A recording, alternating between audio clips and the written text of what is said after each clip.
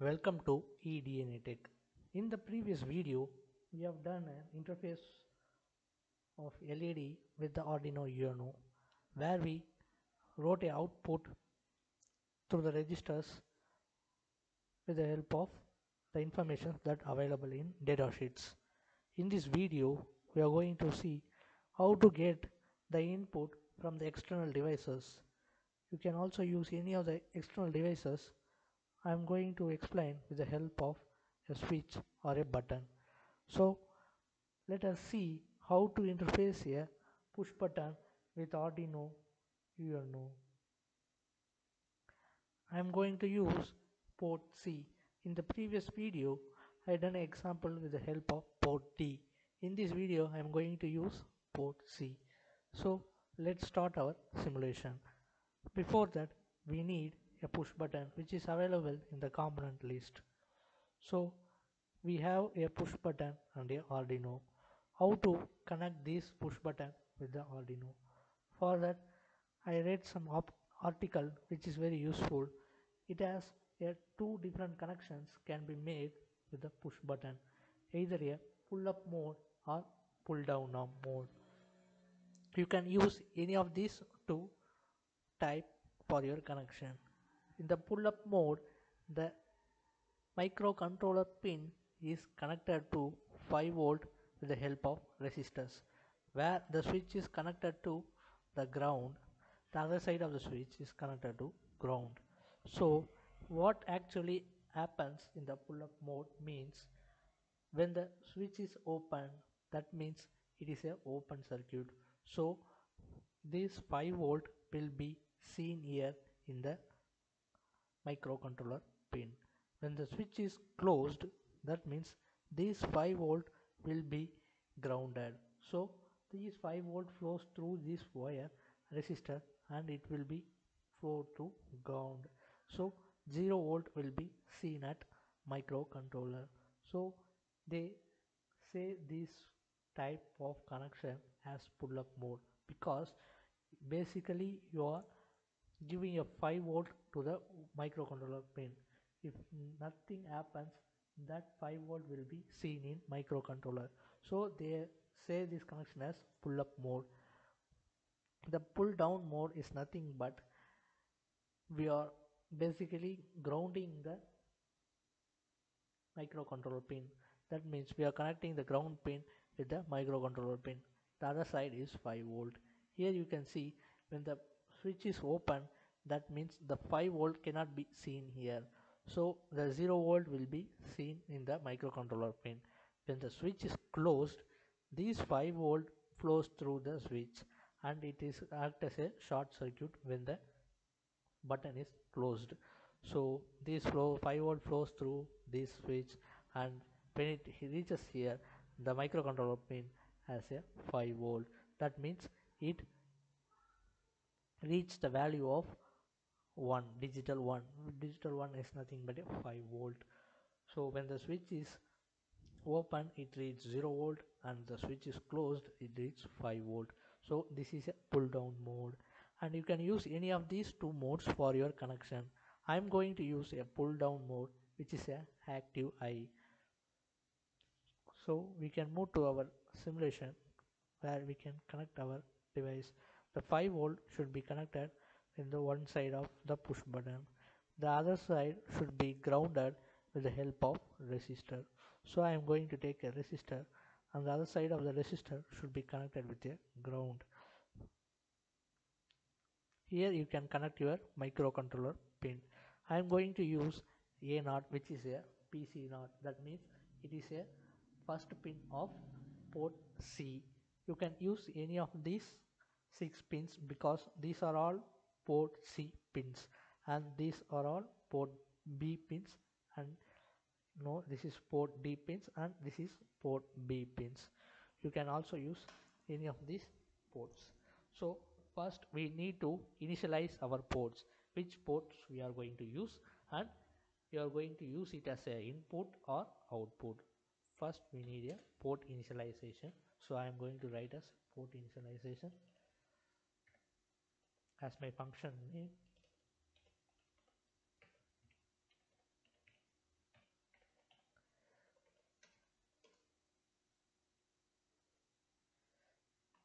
volatile. What is the use of volatile means? If you not use volatile it will optimize some sort of lines. Let me example take a code that contains volatile i and a for loop.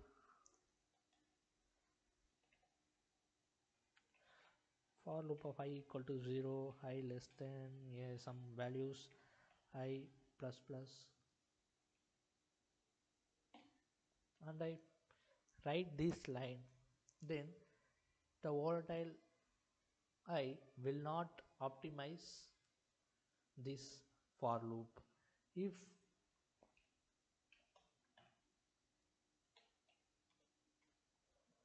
sorry we should use a data type before variable. So if I use a volatile int i means it will not optimize this line. If I didn't use this volatile means only a int i means it will optimize this line.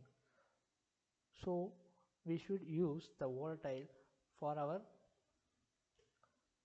because we know what is the use of this line but the compiler doesn't know it will be useful. It will think it as it is not needed. It is like a command. So we should use a volatile in front of a variable. So I'm going to use a volatile char for detailed explanation. The next video I can explain with it a example. Here you can just write a volatile char I, why I am using char is my input registers also a 8 bit. Because it is 8 bit I am sufficient with char if the bits exceeds 8 bit or it goes behind 8 bit you can all use a particular data type that available for particular bits. If the bits is 16 32 or 64 you can use any of the int like long short you can use any of those data type. I am going to name a variable as port C direction because the direction register shows whether you are using the pin as input or output. I am going using pointer variable because pointer variable is easy to introduce or change a address because if you didn't use a pointer variable then the compiler itself allocates a particular address where the data is stored. But we need a specific address where the data should be stored. So I am using a pointer variable to store a data in particular address. So I am going to write the address of the port C which will be here in the data sheet the port C data direction register as a address of 0x27 you can use this address where you can write your data. What data should be written means if the pin is used as an input then you should make that value as 0 if the pin is used as a output then you should write that pin as a 1 because in I am going to use DDC0 that means it is a A0 pin. And I am going to write a 0 here. That means this pin act as a input. If I write a 1 here then the A0 pin this A0 pin will act as a output pin. Depending upon the value on the direction register it can be used either as a input or output pin so I am going to make all my port C pins as input. So I am going to write 0x00 if you want to make any of the particular pin as output then you can use one value in the particular registers value. So next our aim is to write a function to get the input from the registers. So I am going to name it as input port input.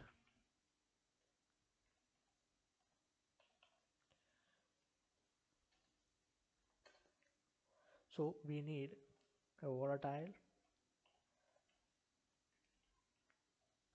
char, a pointer variable port C input. Here we are going to read a value that is stored in a particular register's address. So the address of the port C input is you can verify it in the data sheet that is 0x26 the port C input pin address is 0x26 if you are going to use the port D then it has a separate register address value. If you are going to use the port D means it has a 0x29 input pin address. If you are going to use B it has also a separate value. So verify a data sheet for a value that needed for your program. I am going to use a port C so I am writing 0x26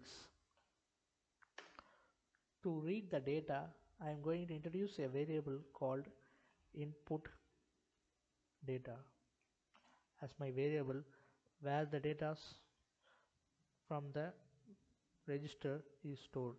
So I am going to move my data which is available in the register address 0x26 to a particular variable named input data. So before that we should add a data type to this variable. I am going to use it as a character. You can use any other data type but it is only 8 bit so I am going to use character.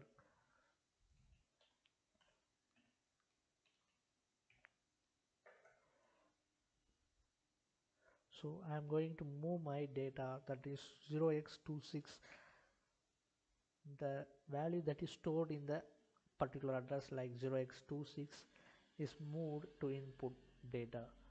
Next we need to return the input data whenever this function is called.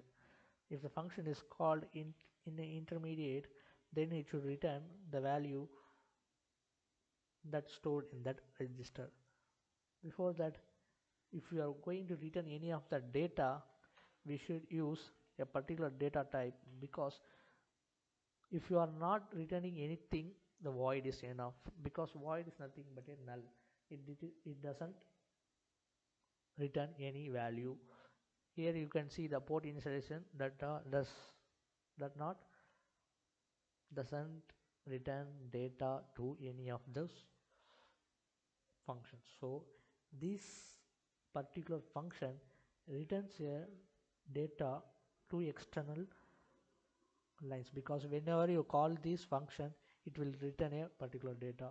So we are using a char if doesn't return data means you can use void. So we are going into a main function where you can write mm, first we should initialize our port. So I am going to call my function which is named as port initialization. So you can call this function and it will initialize your ports. Port C that is input or output all will be done when you call this function the next thing is to see the data that's stored in the variable. So I'm going to name it as button1 as my variable. So I'm going to check what is the value when my button is pressed. So I'm going to call my function named input port input so whenever I call my function port input it will return my data. That means the value that's stored in the register to this variable called button1 so here you cannot see what's the value that is stored in button1 you cannot view in the naked eye. So we need a particular thing like in a C program if you are writing a printf function it will show your value in the console window. So here we have a console window like a thing that is called serial monitor. You can use this serial monitor to view your outputs. So I'm going to use a serial library. I'm only using this library because it is very useful while you debugging your big programs. Print ln shall I name it as a button one value is?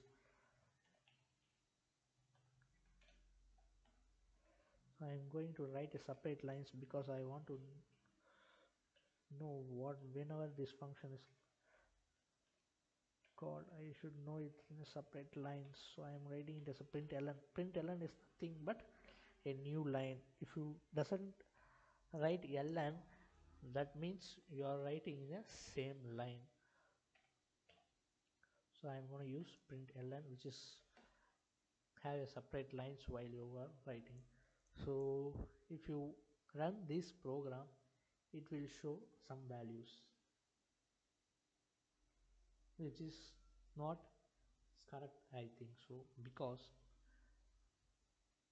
we have to have a output of 0 because no when the button is not pressed the value must be 0 so one thing that we can do is we should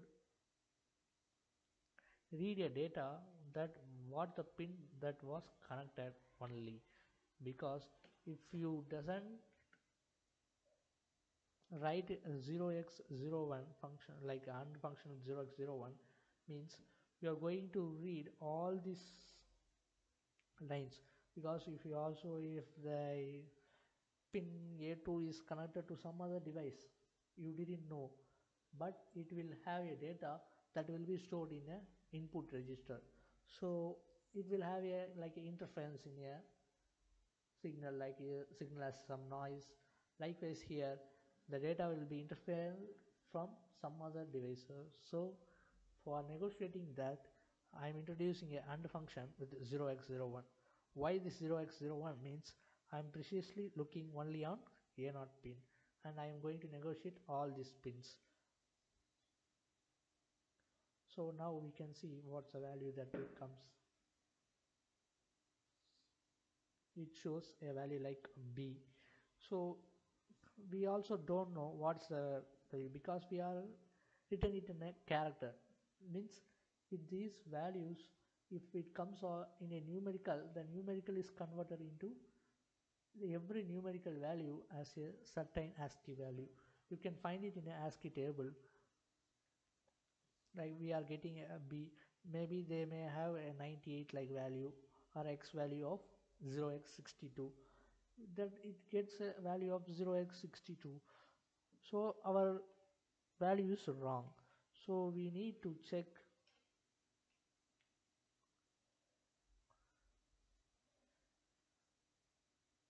the help of you can use a DEC that means it will show you the value in a decimal. It also shows B. It shows some garbage value because you didn't initialize it with a value. If you didn't initialize with a value then it the particular variable has some other value stored in it. You want to first clean that variable with the help of uh, 0 now it should show 0 I think so let us try it shows 0 it show it also shows some other value. So we are going to use a while loop because while loop can be used wisely. You can check your value when the button is pressed. So I am going to write a while loop which can check our button. So before this while loop I am going to write this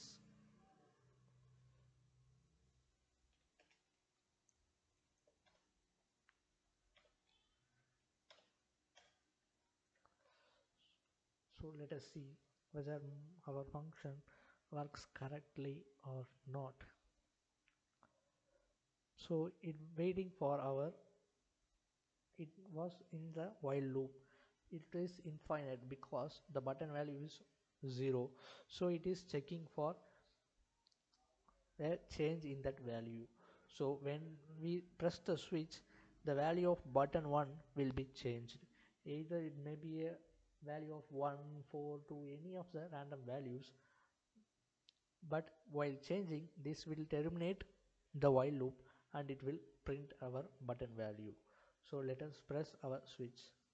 So while pressing our switch it shows as B. But we should get a value of 1 we have done some mistake which will be seen here the value should be 1 let us me check my code where I done a mistake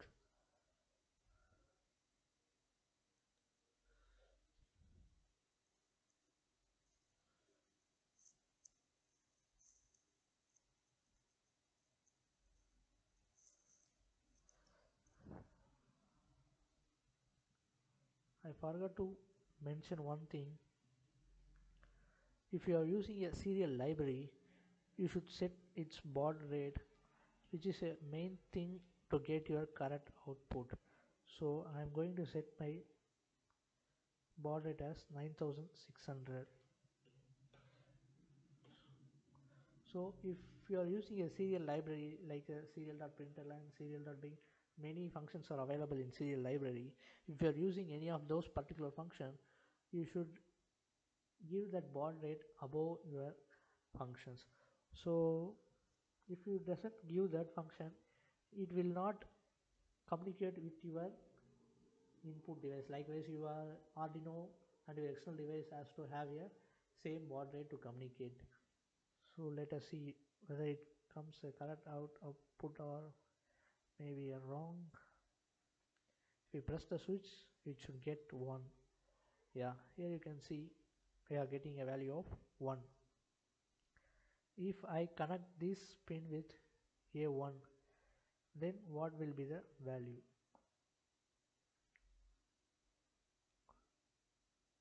So I am not getting any of the values because I am looking only on 1 so if I multiply 0x01 that means if you are, I am going to earn my port input function with 0x01 I am only looking at A0 and this will make all other pins are 0 so if you want to make this pin to communicate so we should make it as 0x2 so now we can get a value of 2 run the simulation. If I press the switch you can get a button value of 2 let me execute it with a two buttons. You can feel the difference. What is the use of this unfunction so I'm going to connect my another button. So let me move this up. So one 5 volt should be connected here. And I need a resistor. So I want to ground my resistor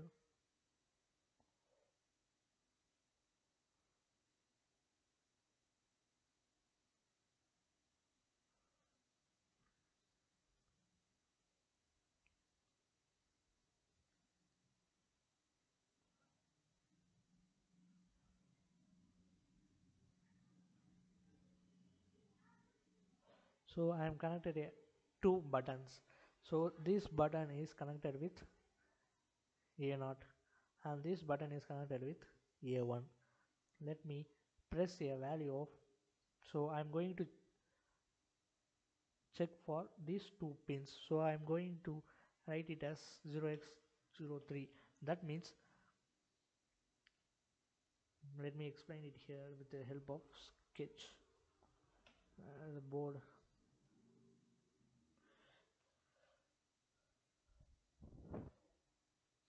so if the value is 0 0 0 this is a 4 bit another 4 bit makes it as 8 bit. So this has a equivalent of 0x00 in x. If I write a 3 that means 2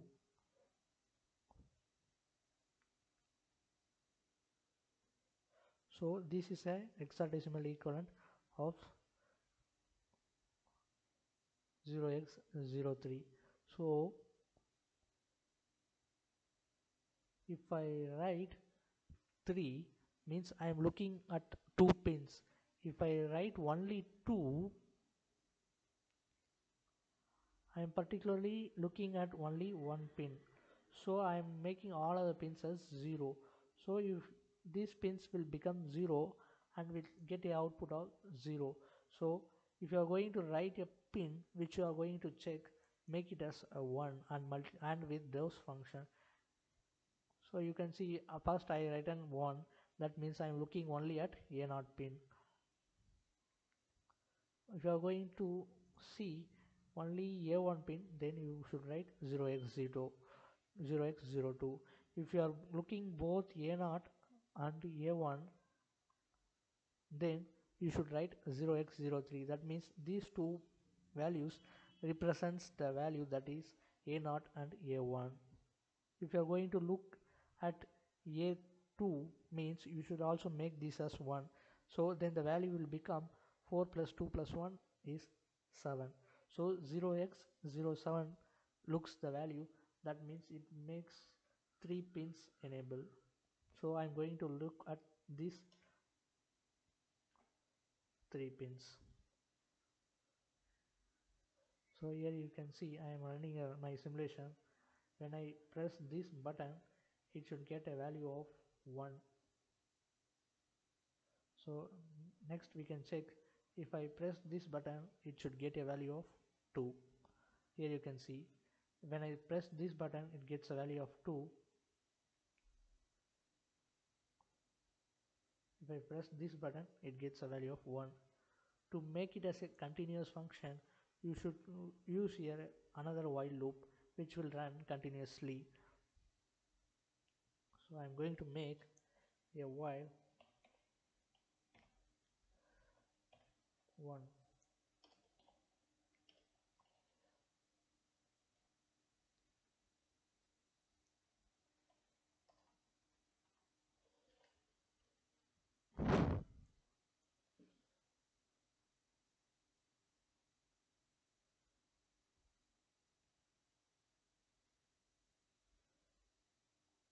Eh, here you can see when I press the button it shows button value 2 if I press this button it shows button 1 button 2 button 1 button 2 so you can use this function. It shows this much of value at one press means it needs a delay function because it will perform at a 0.92 milliseconds or microseconds in the speed. So it is very fast to consider to us.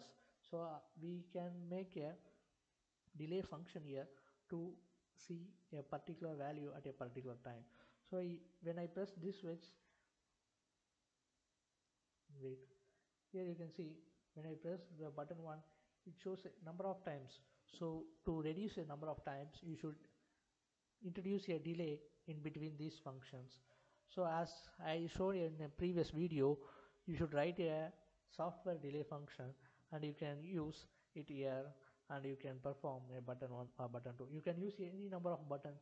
You can also use 6 buttons and 6 LEDs and also 8 buttons and 8 LEDs in the next video we are going to use 8 LEDs and 8 buttons and you can perform any of the functions with these 8 LEDs and 8 buttons.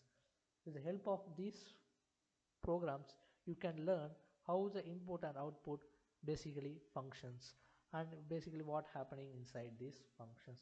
You can learn.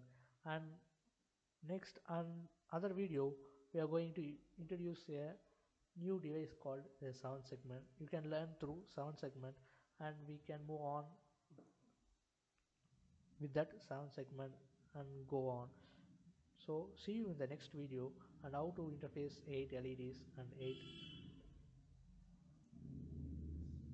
8 LEDs and 8 buttons.